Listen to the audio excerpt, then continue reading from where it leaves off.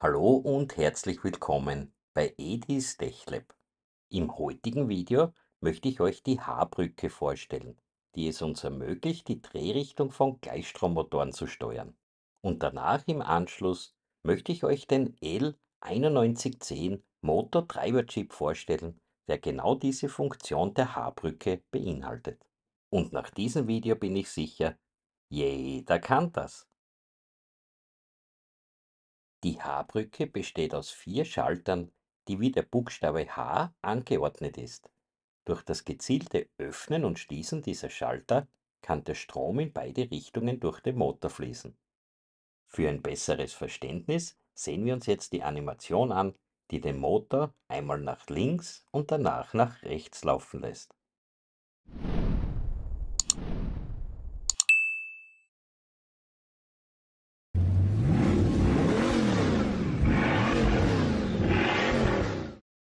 Wenn wir jetzt die beiden anderen Schalter schließen, dann können wir somit die Drehrichtung vom Motor umdrehen.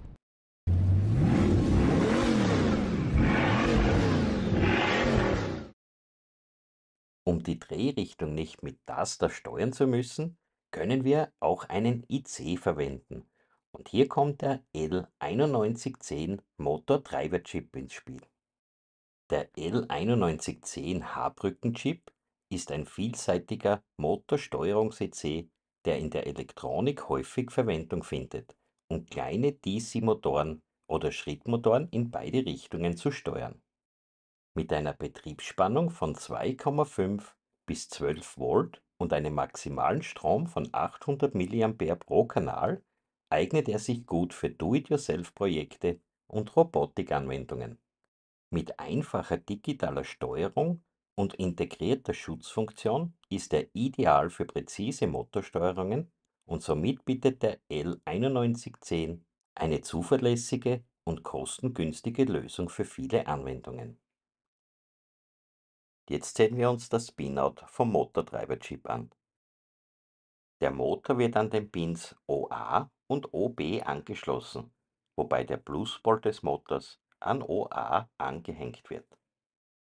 Durch das Vertauschen von OA und OB ändert sich die Drehrichtung des Motors. Die Pins IA und IB steuern die Richtung des Motors und es ist empfohlen, über den Eingang IB mittels Pulsweitenmodulation die Geschwindigkeit des Motors zu regeln. Laut Wahrheitstabelle läuft der Motor vorwärts, wenn IA auf High gesetzt ist und rückwärts, wenn IB auf High gesetzt ist. Zusätzlich gibt es zwei Ground- und zwei VCC-Pins, die mit der Spannungsversorgung verbunden werden müssen. Wer tiefer in die Elektronik und Heimautomation einsteigen möchte, den kann ich hier dieses E-Book empfehlen. Dieses Buch wird ständig weiter aktualisiert und ihr könnt euch alle zukünftigen Updates kostenlos herunterladen. Mit dem Kauf unterstützt ihr Edis Techlab und ich möchte mich jetzt schon recht herzlich bei euch dafür bedanken. And good news for all the English speaking folks. This book is also available now in English. Machen wir jetzt ein praktisches Beispiel mit einem 12 Volt Gleichstrommotor. Wir legen auf dem Pin IB eine pulsweitenmodulierte Spannung an, um die Geschwindigkeit des Motors steuern zu können.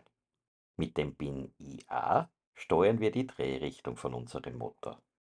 Für diesen Versuch habe ich den Wemos D1 Mini verwendet und die Pins IB auf D5 und IA auf D6 gelegt.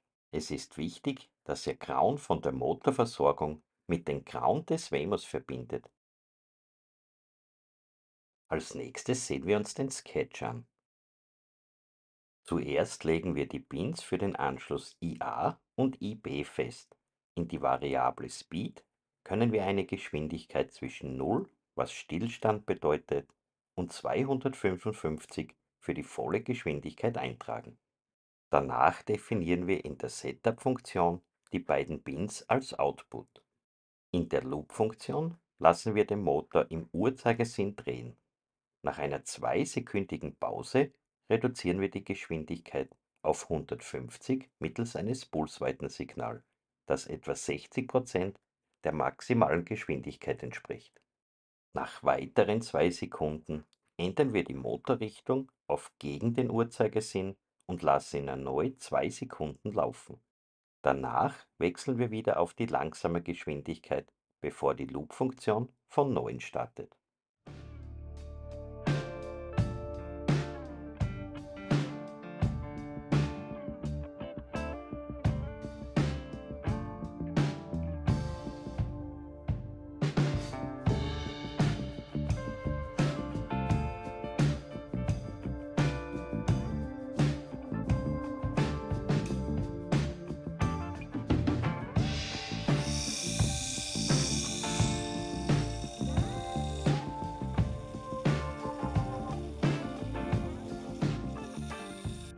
Wenn euch das Video gefallen hat, dann könnt ihr jetzt kostenlos den Kanal abonnieren und drückt die Glocke, wenn ihr keine zukünftigen Videos mehr versäumen wollt.